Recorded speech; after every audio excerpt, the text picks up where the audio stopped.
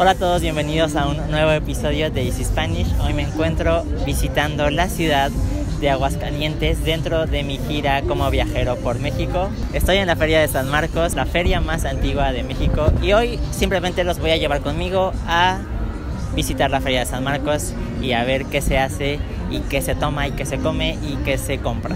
Vamos.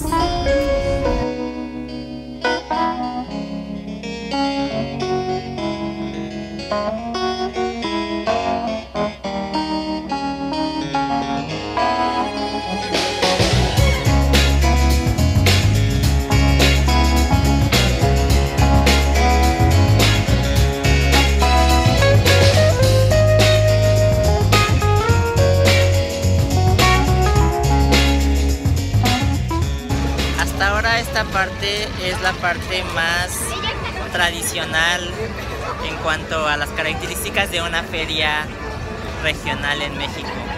Los juegos mecánicos, las palomitas, las hamburguesas. La feria de San Marcos dura aproximadamente un mes y en verdad les digo es una fiesta interminable por 30 días, un poco menos de 30 días. Y las vacaciones de Semana Santa coinciden con la feria, entonces la gente está de vacaciones, la gente quiere divertirse, pasarla bien. Viene gente de todo el país a visitarla, millones de personas visitan esta feria, es sumamente importante. Es algo muy representativo del estado de Aguascalientes y algo muy característico de la feria y algo muy importante por la que mucha gente viene aquí. Es porque es uno de los pocos lugares en donde puedes tomar alcohol en las calles, porque en teoría esto es la calle, o sea, estos lugares son espacios públicos enormes y cuando no hay feria están vacíos. Entonces la gente viene a tomar aquí como locos y eso les voy a mostrar en la segunda parte de este video en la noche para que vean cómo se pone el ambiente nocturno en la feria de San Marcos. Es un festín y hay un derrame económico impresionante. La gente viene a gastar dinero aquí y eso es lo importante.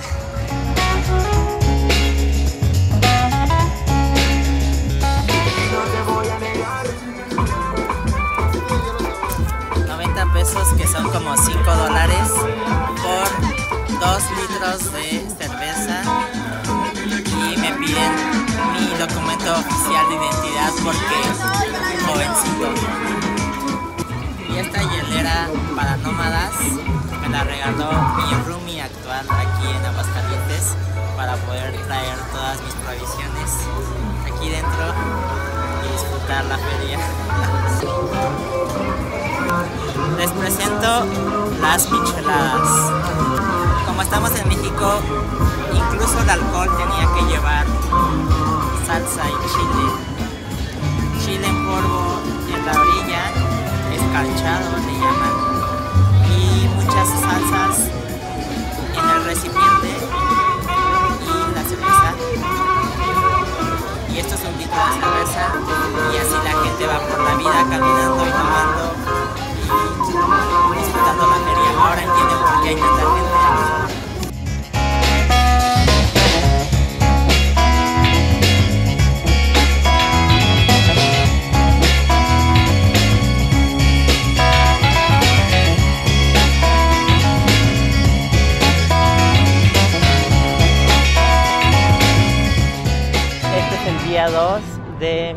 visita a la Feria de San Marcos y ahora estoy en el centro de la ciudad de Aguascalientes. Aquí a unos metros está el Jardín San Marcos y es una de las entradas principales de esta parte de la feria. La feria es tan grande que no se puede, es casi imposible recorrerla caminando o es muy cansado. Entonces por eso hice este video en dos partes. La primera es la parte digamos, de la feria tradicional, la parte familiar, cultural, y ahora venimos a enfiestar a esta parte. Van a ver que es una locura, muchísimo, muchísimo alcohol de sobremanera y esta es la parte en la que los adultos vienen a ahogar penas y a volverse locos.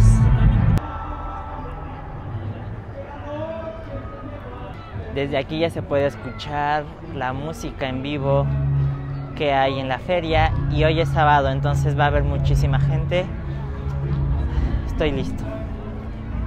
Empezamos bien, la tarde está increíble, un atardecer rojo, el clima está increíble, no hace tanto calor como ha hecho en los últimos días.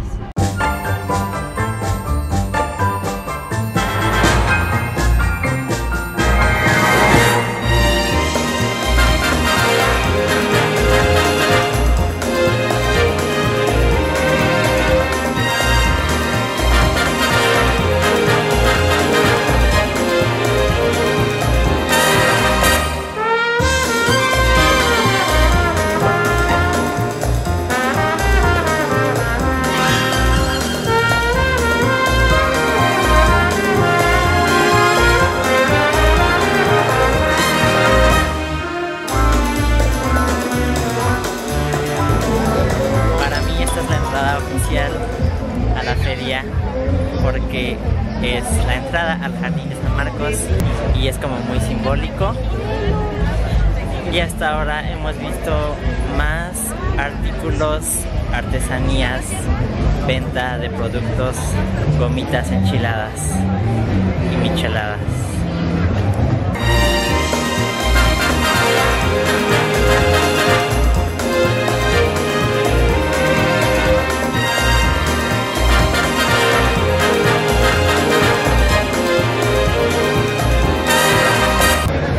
Esta es como la antesala a la fiesta que nos aguarda allá más adelante. Y son puros puestos de comida, mucha comida, más comida que bebida y aquí te llenas el estómago para poder fiestear sin fin después. Y algo muy increíble para mí es que vienen personas de todas partes de la República Mexicana a traer sus platillos típicos y a mostrar su gastronomía. Aquí hay tacos de Michoacán, también hay gorditas de Michoacán, hay comida de la península yucateca, hay comida oaxaqueña seguramente que no he visto, pero seguramente. Y mi personal favorito, mariscos. Eso es algo increíble de la feria que no sabía que había.